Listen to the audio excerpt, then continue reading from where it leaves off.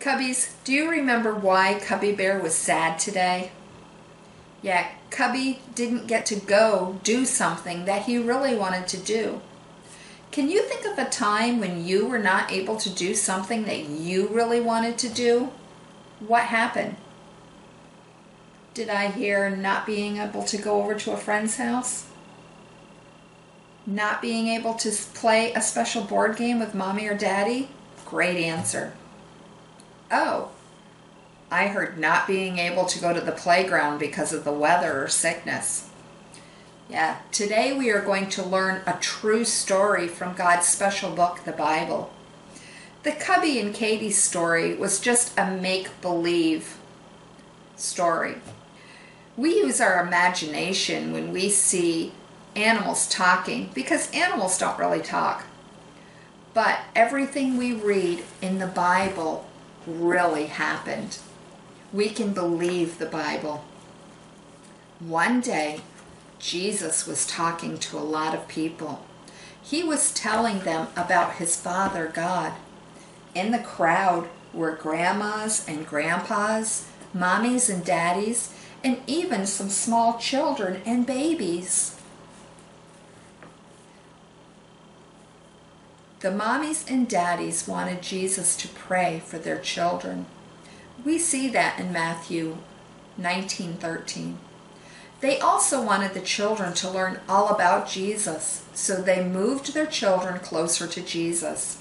Cubbies, can you think about how exciting it would have been to see Jesus? Let's pretend we are the children in the crowd. Cubbies, stand up and take one step forward and then say, I want to learn about Jesus. Good job. Now you can sit down and we will learn what happened to the boys and girls in our true story. Jesus had special helpers with them. These helpers were called disciples. Cubbies, can you say disciples? Good. The disciples did not want the children to bother Jesus. They told the children, Stop! You can't come closer to see Jesus today. How sad. The children really wanted to see Jesus, but they had to turn around and go away. The children probably felt sad too. Can you make a sad face? Boys and girls, Look at Jesus. Did he look happy that the children were going away? No, he was angry. He did not want his disciples telling the children to go away. Jesus said, Let the children come to me. Do not stop them. Let's say that together. Let the children come to me. Do not stop them. All the children happily walked towards Jesus. Can you pretend to be the happy children? Okay, cubbies, stand up and walk in place as you clap your hands and smile. Great job. You can sit down. See the children with Jesus? Jesus loved them. He held them on his lap Jesus prayed for each one of the boys and girls that day. Where would you be if you were with Jesus in this picture? Would you sit on his lap? Would you be shy and peek out like the ch- child in the back? Would you give him a big hug or a kiss? Would you hold his hand? Did any of the children look like you? Jesus loved the children, and Jesus loves each one of you. Let's say our Cubby motto together Jesus loves me. Let's say it again. Jesus loves me. You know what? Jesus loves Lilani. Jesus loves Billy. Jesus loves Maya.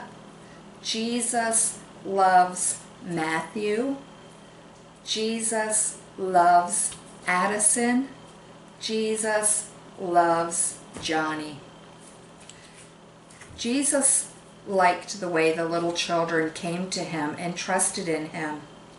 We can trust that Jesus loves us and that he is our Savior who died on the cross for our sin and came alive again.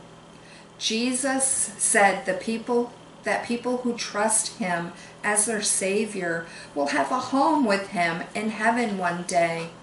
In heaven we will live with Jesus always.